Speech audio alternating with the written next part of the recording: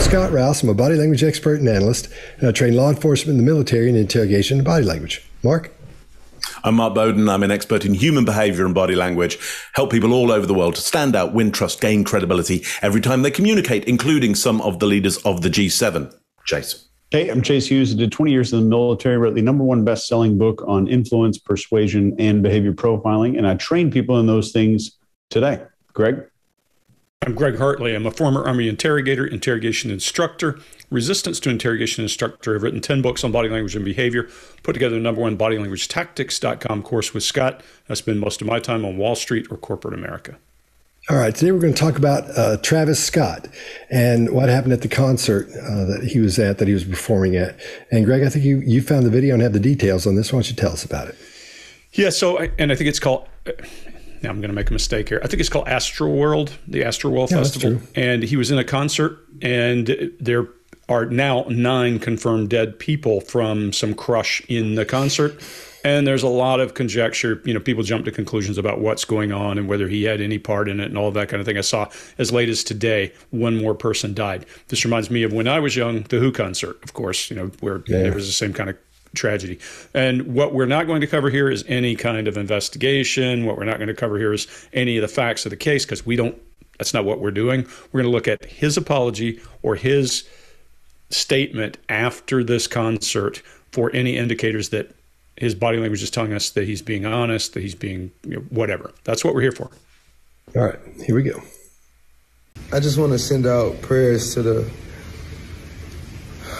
to the ones that was lost last night. We're actually working right now to identify the families so we can help assist them through this tough time. You know, my fans, my fans like, my fans really mean the world to me, and I always just really want to leave them with a positive experience.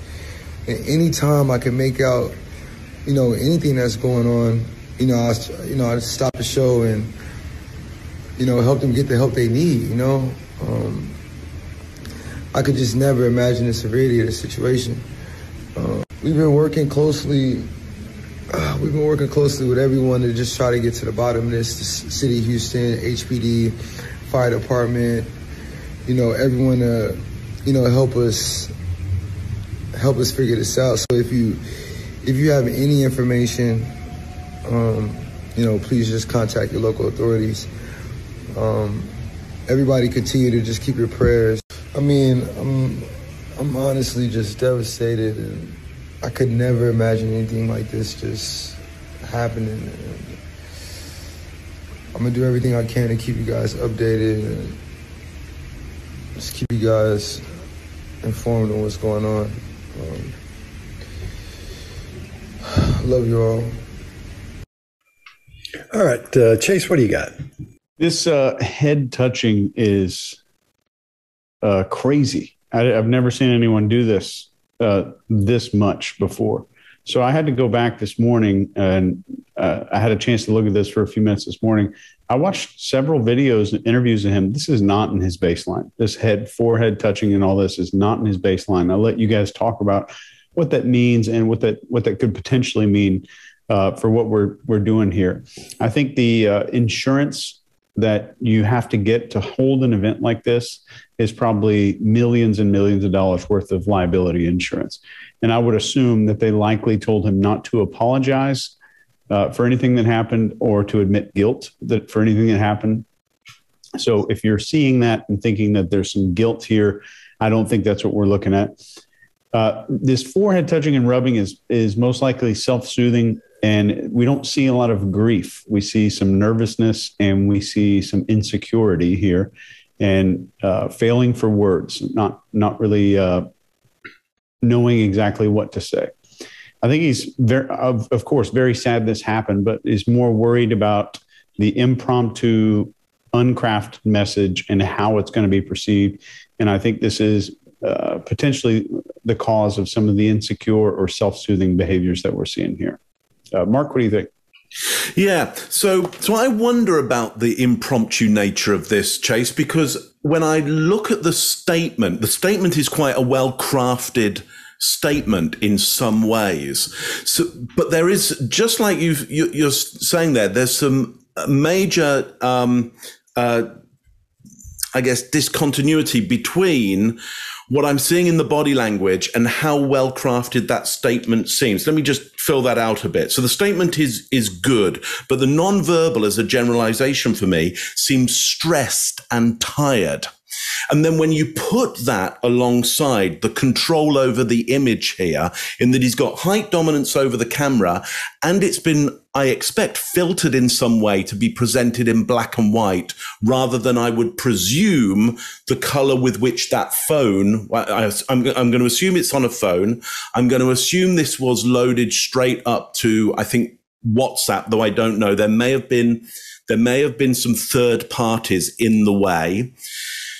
But if there is a third party in the way or he uploaded this, I wonder why it's been converted into black and white. I wonder why that um, that dominating position. It seems like there is a uh, some craft around perception management here, not only in the way it's constructed, the, the, the, the dialogue there or the, or the statement there, but also the visual presentation. So it rings some alarm bells for me in that really what you want to be doing here is a, a, fairly good statement, like I think that is, but then really not so much demonstration of the emotion there because the focus needs to be on the victims here in a in a kind of a PR 101 focus on the victims not yourself. But he's drawing huge amounts of attention to himself and his own stress and confusion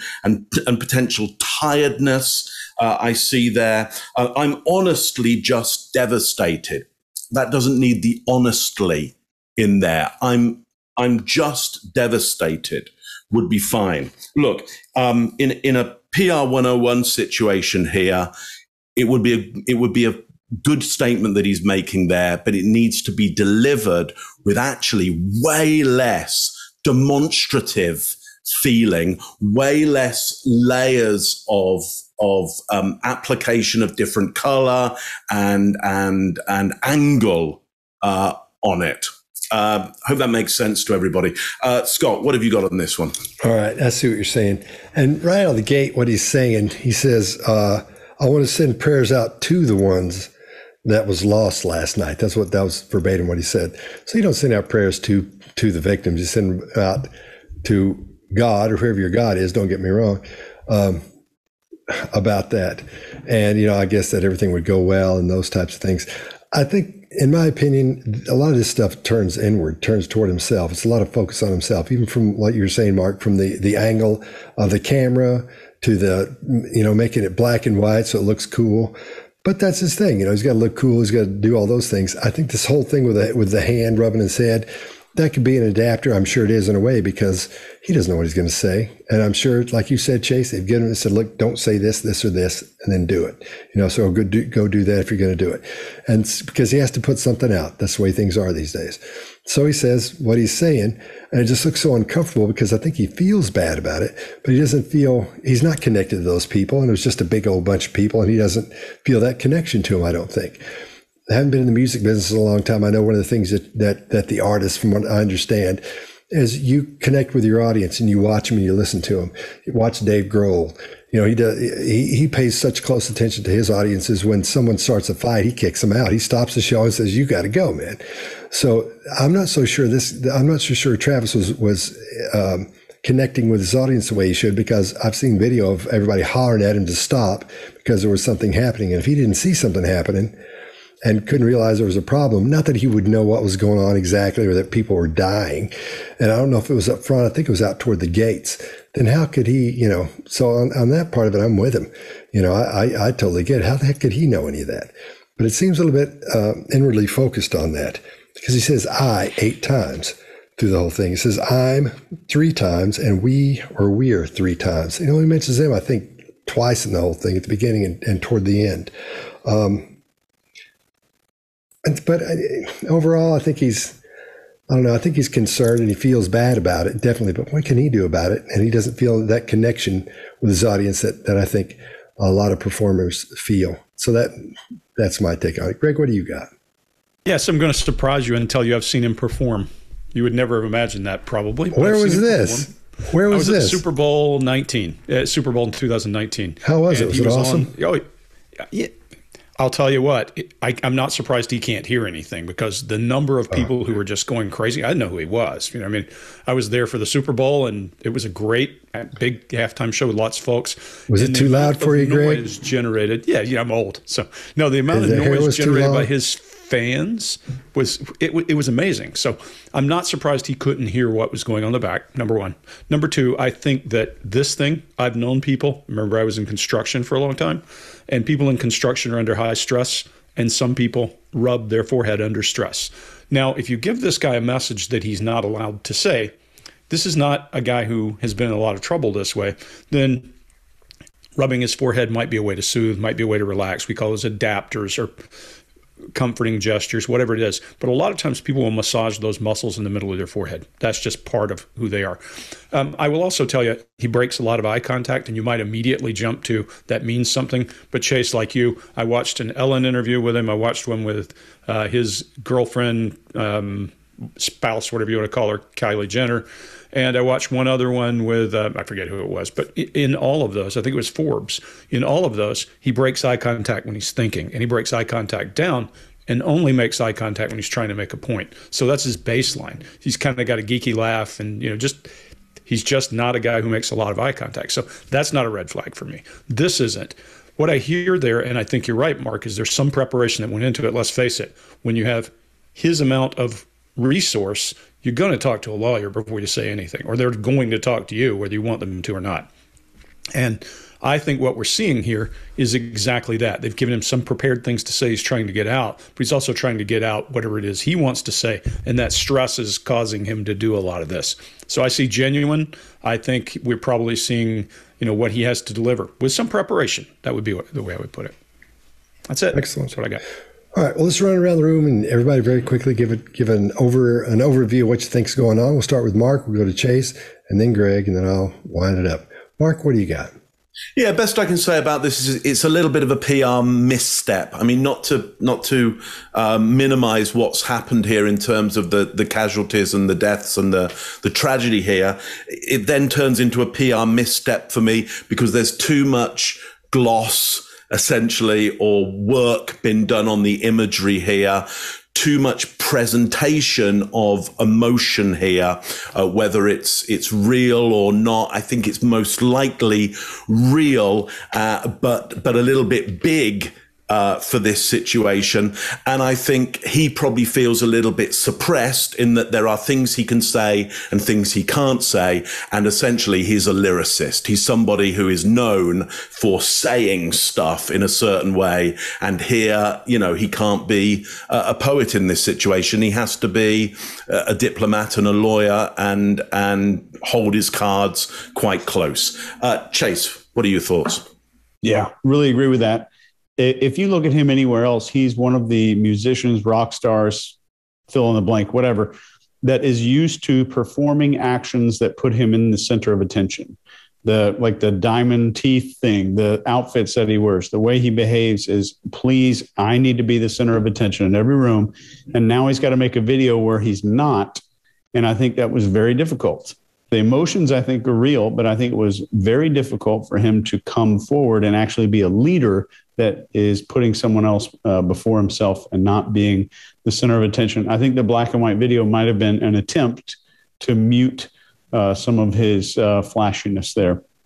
Maybe the advice of somebody that uh, is on his PR staff or something like that. Greg?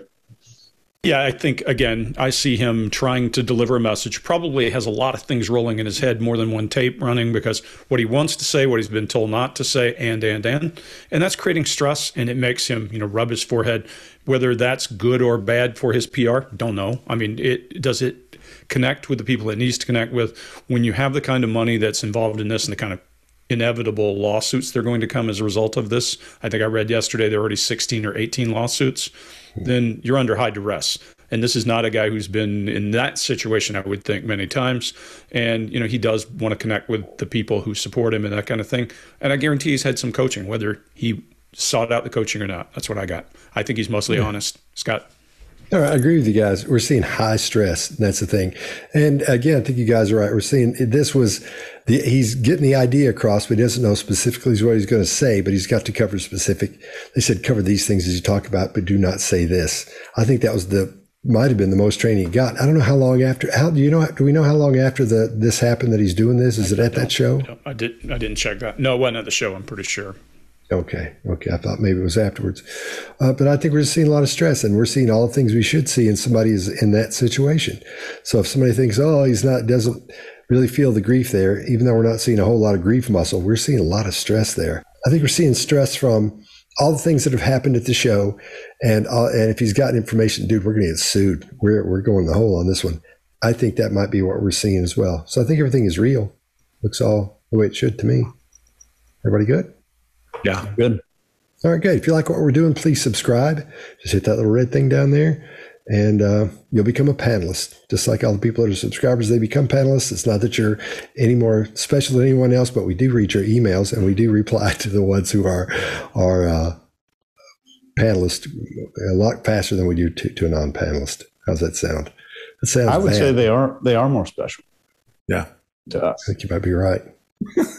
I like them more. Me too. Okay, The shinier, the glossier. that's true. all right, I'll see you guys next time.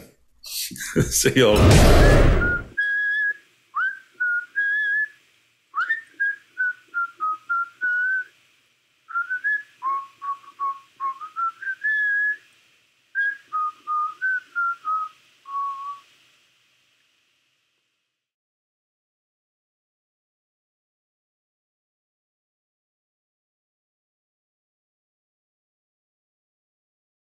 Avicero, no van a ser, no,